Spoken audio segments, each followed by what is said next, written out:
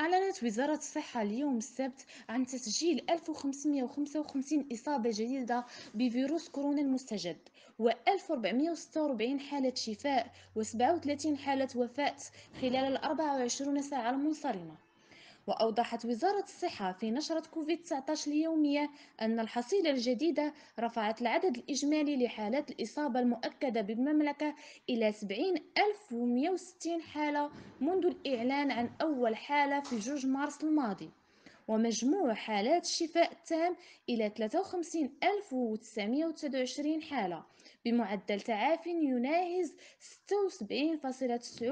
76.9% فيما ارتفع عدد الوفيات إلى 1329 حالة بمعدل فتك يبلغ 1.9% وتتوزع الحالات المسجلة خلال ال 24 ساعة الأخيرة عبر جهات المملكة بي بين كل من جهات الدار البيضاء سطات ب 462 حالة الدار البيضاء 330 المحمدية 28 برشيد 27 سطات 23 النواصر 19 حالة الجديدة 16 حالة مديونة 11 حالة وسيدي بن نور وبن سليمان أربعة حالات أربع حالات.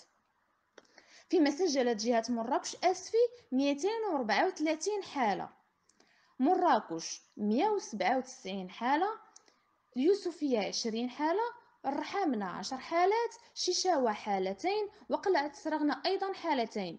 فيما سجلت أسفي والحوز حالة واحدة. وكذلك الصويرة. وسجلت جهة درعا فيلال 222 حالة.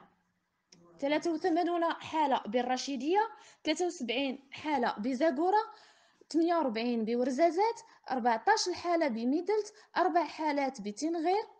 وسجلت جهة الداخلة وادي الذهب 165 حالة كلها بوادي الذهب. وسجلت جهة الرباط سلا القنيطرة 148 حالة.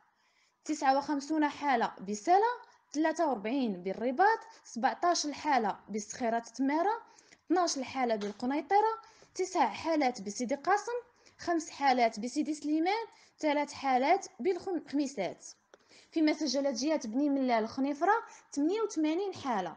21 بأزيلال الفقيه بن صالح 21 أيضا.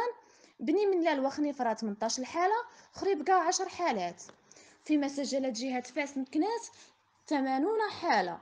فاس 33 مكناس 21 حالة إفران 15 حالة الحاجب 5 حالات وتازا 4 حالات وصفرو جوج حالتين. فيما لم تسجل تونات أي حالة وهي أم اليعقوب جهة طنجة تطوان الحسيمة 64 حالة. طنجة أصيلة 30 حالة تطوان 23 حالة الحسيمة 6 حالات شفشاون ووزان حالتين فيما سجل المضيق الفنيدق حالة واحدة. وسجلت جهة سوس ماسة 29 حالة. أكادير إيدا وتنان 20 حالة. شتوكا أيت بها أربع حالات إنزكان أيت ملول ثلاث حالات. تارودانت حالتين.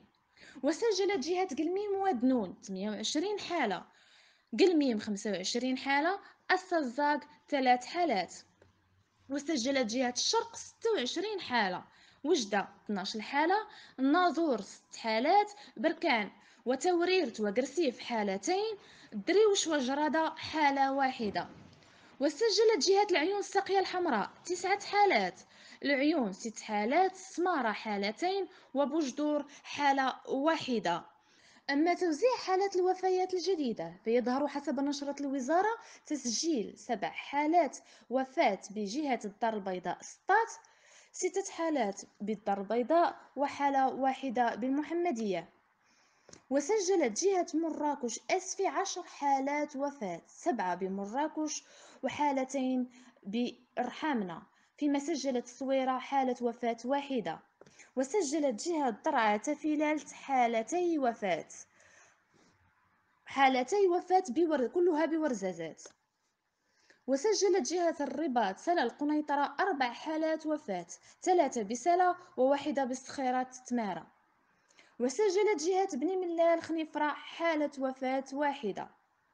أما جهة فاس مكناس فسجلت ثمانية حالات وفاة ثلاثة بفاس وواحدة بمكناس وأخ وحالتين بتاونات ومر يعقوب فيما سجلت جهة طنجة تطوان الحسيمة أربع حالات كلها بطنجة أصيلة. وسجلت جهة سوس ماسة حالة حالة وفاة واحدة كلها بأكادير إذا وتنان فمزيدا من الحذر والحيطة لتفادي كورونا.